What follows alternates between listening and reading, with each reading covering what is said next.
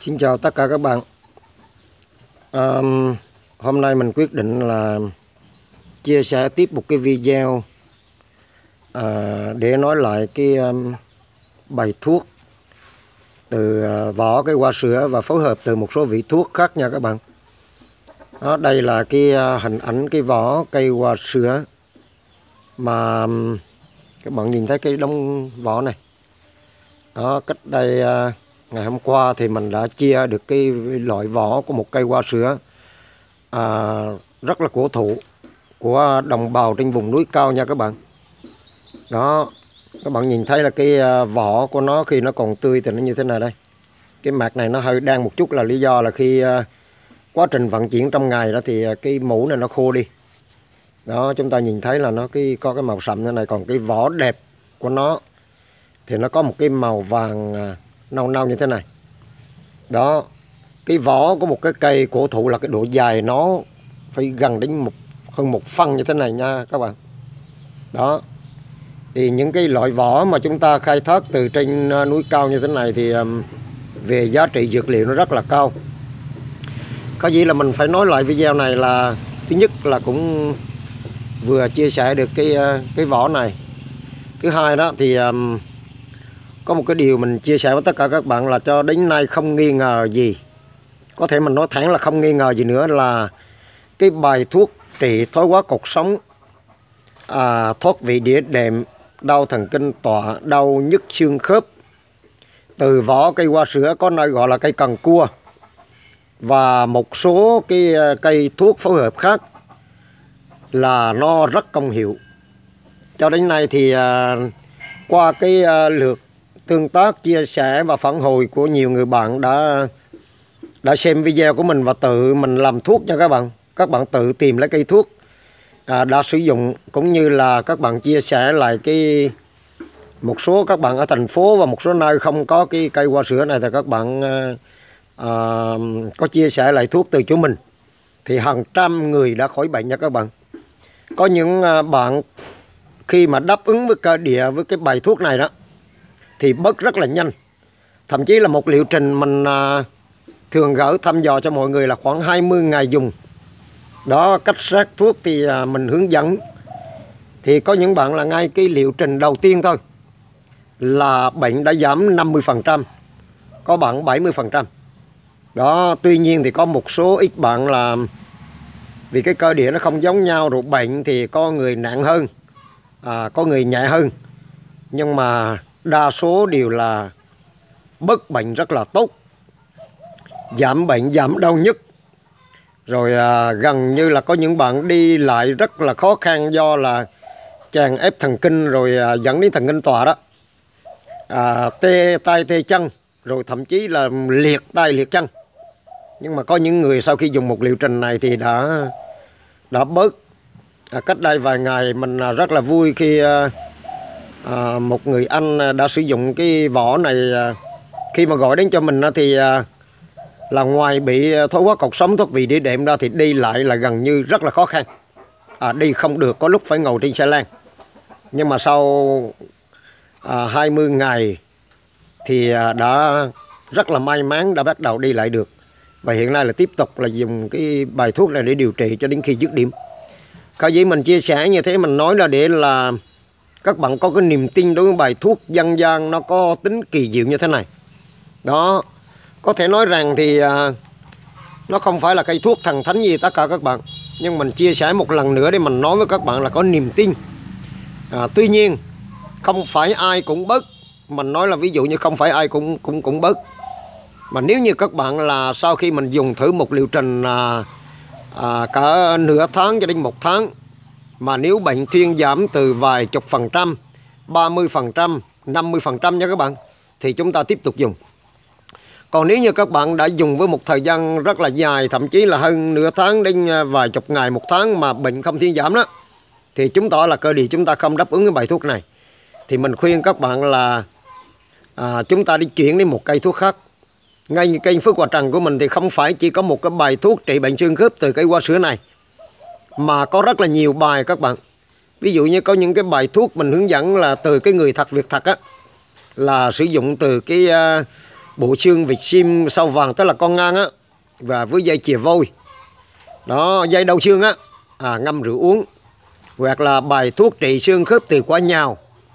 Đó hay là những cái bài xương khớp từ quả đầu tiên với là chuối rừng chuối hạt á và rất là nhiều những cái bài khác đó thì mình khuyên các bạn là nếu như chúng ta vì lý do nào đó mà không đáp ứng với bài thuốc này thì thì à, chúng ta nên chuyển một cái bài thuốc khác. Đó. Một cái điều nữa là mình chia sẻ à, các bạn cố gắng à, kiên nhẫn xem cái video này nha các bạn. Là tức là cây thuốc thì đúng rồi bài thuốc phối hợp thì đúng rồi. Chúng ta có thể tham khảo trên các cái nguồn tài liệu khác nhau thì như kênh Phước Hòa Trần của mình rồi nhiều cái kênh ờ, của các bạn khác chia sẻ về cây thuốc. À, các cái trang thầy thuốc rồi ờ, à, trên cái diễn đàn mạng cũng nói rất là nhiều. Thì đúng là bài thuốc như thế nhưng mà khi chúng ta khai thác á, là nhiều bạn lấy cái vỏ nó nó quá là non. Nó chúng ta không nên lấy khai thác ở cái cây hoa sữa này cây cần cua này mà những cái cây còn non thì cái tính dược liệu nó không cao. Nha các bạn rồi thậm chí là một số các bạn tìm không ra. Thì chúng ta tận dụng luôn cả cái cành của nó. Để mà về sao chế làm thuốc thì hiệu quả nó không cao.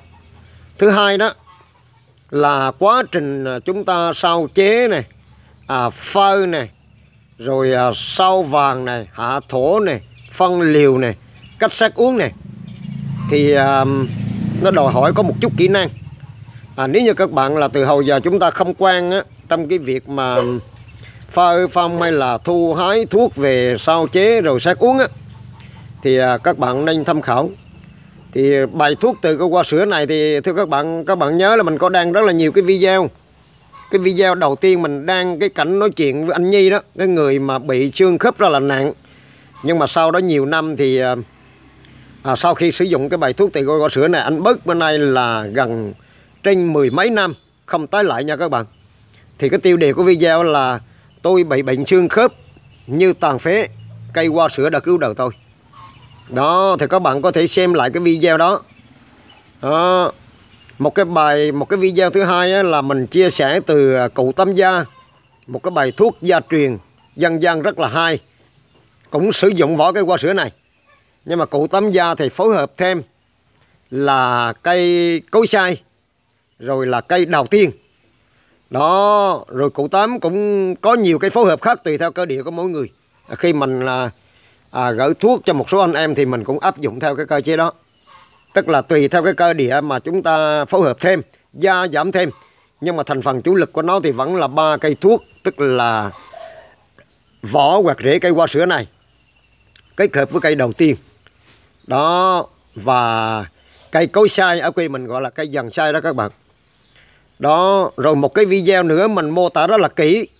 Đó qua cái video này nếu như các bạn chưa có biết cái cách sử dụng cái vỏ này đó cũng như là à, cách sao chế như thế nào thì các bạn hãy vào xem video trên kênh Phước Hòa Trần. Đó. Tức là video là cách à, phối hợp và sao chế bài thuốc trị bệnh xương khớp từ cây hoa sữa nha các bạn. Đó thì các bạn có thể là à, có một số bạn là vẫn tìm không ra video. Khi các bạn gọi cho mình là kêu là à, anh ơi chú ơi khi mà à, nghe như thế nhưng mà khi tìm là có khi là không ra video. Bởi vì mình đang tải trên Facebook rồi trên Zalo đó các bạn. Đó thì mình hướng dẫn các bạn là cứ gõ chữ Phước Hòa Trần kênh của mình. Đó thì sau đó là trên đầu kênh mình hãy dướng thẳng các bạn là trên phía đầu cái kênh của mình đó là thường là nó có cái chữ video rồi chữ danh sách phát à, các bạn có thể gõ vào cái chữ video á là để chúng ta lướt lên tìm cái video nào mà như mình đã nói mà với các bạn à, đau xương khớp thì tìm video về xương khớp. Còn hoặc là có thể các bạn gõ vào chữ danh sách phát cũng ở trên đầu kênh. Đó thì nó ra năm cái danh sách phát trong cái kênh của mình. Mình chia sẻ nhiều cái nội dung mà.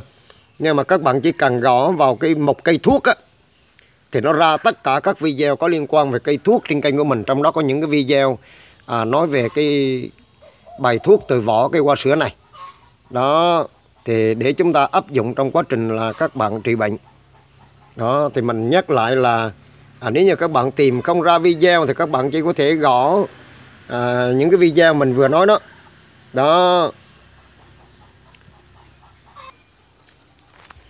Đây các bạn mình giới thiệu là mình mới tìm được đây. Đây là cái vỏ cây hoa sữa cây cần cua từ trên núi cao nó rất là dài như thế này các bạn. Đó cho nên là thuốc bớt hay không là uh, ngoài cái cơ địa ra thì chúng ta còn tìm được cái nguồn dược liệu rất là cơ bản. Đó mình sẽ giới thiệu cái uh, lại một lần nữa là à, khi chúng ta đem cái vỏ này về và chúng ta bàm xét sao chế nó ra như thế nào nha các bạn. Đây là những cái vỏ mà mình đã đang cắt ra đây các bạn. Đó bạn thấy chưa? Chúng ta chạc là nó lớn hơn cái ngón tay bằng cái ngón tay cái này nha các bạn. Mình nói cho, cho nó dễ hình dung. Đó chúng ta chặt nó ra như thế này. Chúng ta chặt ngang cái vỏ nha các bạn. Ví dụ như cái vỏ này. Đó đây là một cái vỏ thì chúng ta chặt ngang theo cái cái đường này. Đó chúng ta chặt ngang và cái à, nó ra một cái lắc thuốc. À cỡ như thế này. Các bạn thấy chưa? Đó cái à, vỏ này thì à, các bạn cạo trước cũng được. Ví dụ như mình cạo nó ra trắng như thế này nha các bạn. Đó, chúng ta bỏ cái cái lớp à, cái vỏ lụa phía ngoài đi. Cái sần sùi phía ngoài đi. Đó, nhưng mà nếu như các bạn đem về nhiều mà chúng ta không có thời gian thì các bạn có thể chặt ra như thế này cũng được. Nhưng mà khi chúng ta phơi thì cái này, khi chúng ta chà sát nó sẽ tự động, nó sẽ bong ra. Đó, đây là cái quy cách chặt thuốc mà mình nói là một lần nữa. Chủ yếu là giúp cho các bạn là ở nơi các bạn có cái cây này, tự tìm lấy và chúng ta có thể là là cái cách ờ, ờ, đem về rồi chúng ta bầm thuốc nó như thế này nha các bạn. Đó, và cây vỏ này thì các bạn phơi tối thiểu là phải từ 4 năm nắng trở lên. Bởi vì nó rất là dài như thế này, nếu như các bạn phơi một đến hai nắng đó, thì mình đảm bảo rằng là nó không có khô. Các bạn nhớ ý mình nói chưa? Và nếu nó không khô á thì chắc chắn rằng là chúng ta không thể bảo quản lâu dài được. Đồng ý là nếu như các bạn chỉ khô 70% thôi thì khi mình đem sao chế thì đã có thể uống được rồi. Đó nhưng mà theo mình là nên phơi khô hoàn toàn. Đó khô đến khi nào các bạn bẻ đâu nó gãy ra đến đó mình sẽ đây chuyển các bạn xem. Đây là cái vỏ mình đã phơi rất là khô nha các bạn. Đó khi chúng ta phơi khô rồi thì um, nó như thế này. Đó, nó khô hoàn toàn nha tất cả các bạn. Đó và các bạn nghe cái tiếng mình bẻ là kêu tiếng răng rác á. Đó các bạn nghe chưa? Đó khi các bạn bẻ nghe những tiếng răng rác như thế là có nghĩa là cái cái vỏ chúng ta đã khô hoàn toàn như thế này. Các bạn thấy chưa? Đó đây là một cái vỏ mà cái phẩm chất thuốc nó rất là tốt. Đó cho nên là tại sao mình cũng vẫn giải thích lại cũng vẫn là cái cái cây thuốc bài thuốc như thế. Nhưng mà có bạn thì à, có người thì uống các cô bác uống thì bớt nhưng mà có người uống là không bớt thì nó tùy thuộc cho nhiều lắm. Đó mình vẫn nói lại là tùy thuộc vào cái nguồn dược liệu chúng ta thu hái về đó. Nó có đảm bảo chất lượng không? Cây già à, bao giờ cái tính dược liệu nó cũng cao hơn. Đó thứ hai là phơi phong sao chế đó tiếp theo là mình sẽ giới thiệu tiếp cái cây. Đây. Đây là cây đầu tiên đây mọi người. Đó cây đầu tiên là khi về chúng ta lấy nguyên cả cái vỏ của nó thế này. Cây vỏ tiên nó không có cái vỏ lụa gì ở ngoài cả. Không có cái lớp sần sụi mà nó nó đó riêng cây đầu tiên là thì chúng ta à, bất cứ cây thuốc nào khi chúng ta chặt á, các bạn nhìn thấy là trừ cái à, cái vỏ lúc nãy mình nói thôi. Còn khi mình sử dụng thân là các bạn sẽ chặt vát nó ra như thế này đó chặt thành những cái lắc nghi như thế này. Đó, ví dụ như cái vỏ cái đầu tiên thì mình chặt các bạn thấy rồi. Đó, mà chúng ta phơi, nắng cũng thật là khô. Đó, khi các bạn bẻ thì nó cũng có tiếng kêu như thế. Ừ. đây cũng rất là tốt. Rồi một cái cây nữa mà hiện nay rất là khó tìm. Các bạn cố gắng tìm cho bạn được. Một số nơi thì các bạn phản hồi cho mình rất là nhiều. Một số nơi thì nó cũng ở mình thì bây giờ tìm rất là khó đó mình vẫn tìm mua cây thuốc này về để sao chế gửi cho mọi người thì rất là khó. Đây là cây cối sai đó ở quê mình gọi là cây dàn sai cái quả nó như thế này các bạn. Nếu như mà à, có bạn nào lần đầu xem cái video này thì các bạn xem lại nha. Đó. Mình lấy lại cho các bạn. Ánh sáng nó không đủ. Cái quả nó như thế này các bạn. Đó. Thì à, cây cối sai này về cái thân thì à, chúng ta chặt nghiêng như thế này bạn thấy chưa? Để cho nó dễ khô. Rồi những cái cành nhỏ thì các bạn chỉ cần chặt ngang như thế này là được rồi. Đó, những cành nhỏ như thế này. Rồi chúng ta vẫn sử dụng luôn cả cái lá của nó. Đó, cho nên một số bạn khi mình à, gỡ thuốc thì à, các bạn nhầm lẫn là thấy cái lá như thế này. Khi nó khô, nó nát như thế này thì mọi người nhầm tưởng rằng là nó là là bụi cây hay là bẩn hay là cái gì đó các bạn, nhưng mà tuyệt nhiên là không. Bởi vì chúng ta tận dụng luôn cả cái lá của nó, bởi vì cây cối xay á là sử dụng được cả lá quả hoa thân rễ nha các bạn. Đó nhưng mà thường là cái rễ dưới thì khó lấy hơn. Cho nên đa số thì mọi người là thường lấy cái thân như của mình đây. Đó cái bài phối hợp gồm có vỏ của nó này vỏ hoa sữa này à, cây đầu tiên này cây cối sai này thì các bạn tìm xem lại trong cái video nếu như các bạn tự tìm thuốc ở quê các bạn có thì tự tìm thuốc thì các bạn xem lại cái video là cách phối hợp và sao chế bài thuốc. Nó trị xương khớp từ à, vỏ cái hoa sữa đó các bạn. Cái lúc nãy này mình mình có nói đi nói lại rồi đó. Thì các bạn cố gắng, nếu mà chúng ta tìm được thì à, thì quá tốt và cái cách như mình nói lại này đó. Còn khi sau thuốc thì à, các bạn xem trong cái bài đó thì mình đã có hướng dẫn cái cách sau thuốc rồi. Đó, cái liều lượng trong đó bao nhiêu rồi chúng ta xét uống như thế nào, cách sau như thế nào và cách hạ thổ như thế nào nha mọi người. Thì à, các bạn có thể làm theo cái video đó để mà chúng ta tự trị bệnh cho mình. Đó. Đó, thì hôm nay mình chia sẻ một lần nữa cho nó kỹ như thế. Thì thưa các bạn là quá trình xem video nó là có gì không rõ là các bạn có thể để lại cái ý của mình là dưới cái dòng bình luận á đó với cái dòng bình luận nha các bạn thì à, mình sẽ xem và sau đó mình trả lời tất cả mọi người. Rồi à, hoặc là các bạn có thể xem cái video này trên cái kênh Facebook. À, khi mình đăng tải trên uh, YouTube xong thì mình sẽ đăng tải cái video này trên Facebook nha các bạn. Facebook mình là Hòa Trần viết không có dấu. Đó. Hoặc là các bạn có thể là à, kết bạn hoặc là liên hệ dễ dàng qua Zalo của mình. Zalo à, của mình là Trần Phước Hòa viết liên tiếp à, số điện thoại của mình là 0985 418 058 nha các bạn.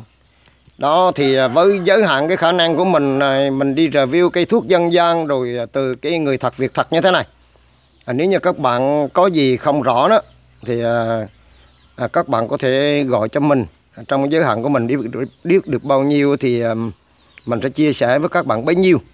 À, bởi vì mình cũng còn đi học rất là nhiều người khác nha các bạn đó và mình mang cái niềm đam mê cây thuốc này cũng khá là lâu. Cho nên là rất vui khi mà chia sẻ những cái bài thuốc từ anh Nhi anh Võ Hoài Nhi đó rồi à, cụ Tâm Gia rồi một số cái người anh em khác. À, mà mình chia sẻ lên ví dụ những cái à, bài thuốc chữa trị này rồi à, cái cái bài nhào của anh anh à, anh Cường này rồi một số cái bài thần kinh tọa là của anh Bình ví dụ như thế rồi à, cái bài ví dụ như là của anh à, một số các bạn khác. Đó. Thì à, đã góp phần là giúp cho các bạn rất là nhiều. Mình rất là vui khi mỗi ngày đó là nghe từng cuộc điện thoại gọi tới hay là những cái dòng bình luận của các bạn đã sử dụng cái bài thuốc này và đã khỏi bệnh một cách kỳ diệu các bạn. Cây thuốc nam nó rất là kỳ diệu. Mà mình nói ở đây mình nói không quá nha các bạn. Có một cái người bạn á, là đã chuẩn bị đi thay cái à, cái khớp cổ, cái đốt sống cổ. Lý do là bị thoái hóa, vừa thoát vị đĩa đệm rất là nặng. Cái chi phí khoảng bốn năm chục triệu đó các bạn. Nhưng mà cái điều kỳ diệu cây thuốc đã xảy ra.